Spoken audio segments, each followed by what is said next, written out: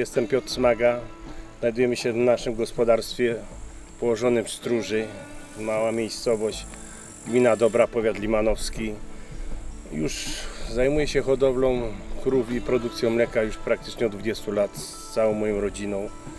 Praca w naszym gospodarstwie jest trudna, bo e, pracujemy na ziemi 5-6 klasy, lecz żeby pracować na gospodarstwie, to trzeba mieć do tego pasję. Bo po prostu praca jest ciężka, człowiek jest przyzwyczajony, moja rodzina jest wielopokoleniowa, jako na gospodarstwie całe życie coś się tu produkowało. Myślę, że nie widzę się gdzie indziej jak w gospodarstwie.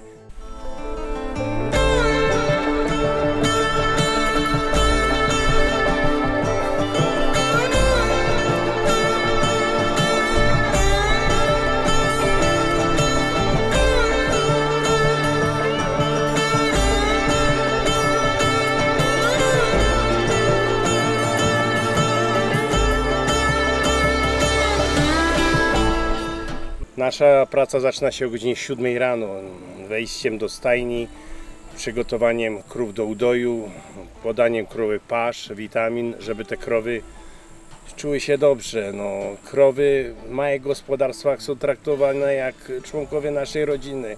My każdą krowę znamy po imieniu, jaki ma charakter, co lubi zjeść, czego i czego i trzeba dołożyć. No i to jest w ogóle inna praca w małych gospodarstwach mniejszych niż niż w gospodarstwach dużych. My do tych krów się przywiązujemy, chcemy, żeby były, żyły z nami jak najdłużej i, i cieszymy się z tego, co mamy. Nie? Eee, łącznie obrabiam około 40 hektarów łąk, które przeważnie robię siano kiszonkę. Jest to praca ciężka ze względu na to, że też jest na terenach górskich i te maszyny maszyny nie wszędzie można dojechać, nie wszędzie i to jest bardzo utrudnione, nie? No ale jakoś, jakoś to dajemy rady, nie?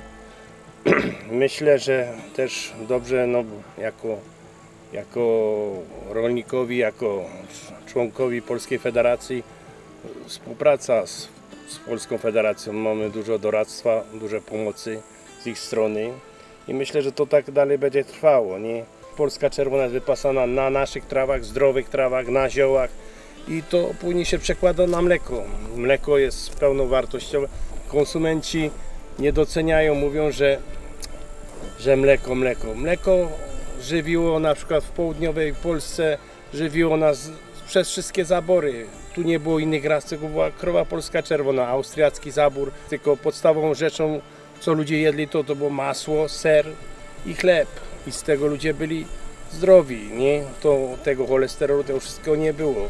I myślę, że, że musimy w dalszym ciągu dążyć do tego, żeby utrzymać te małe gospodarstwa, bo tam, tam będzie smak, a po drugie gospodarstwa, jak jeśli zginą małe gospodarstwa w górach, kto będzie wypasał te, jak, jak będzie wyglądały nasze krajobrazy. No to jest, to bez tego się po prostu nie da, nie? Myślę, że konsumenci wcześniej czy później to zrozumieją, że mleko zanim znajdzie się na półce to jest ciężka praca rolnika 24 godziny na dobę i my z naszej strony jako rolnicy dajemy wszystko ze siebie i chcemy być za to choć trochę doceniani przez konsumenta.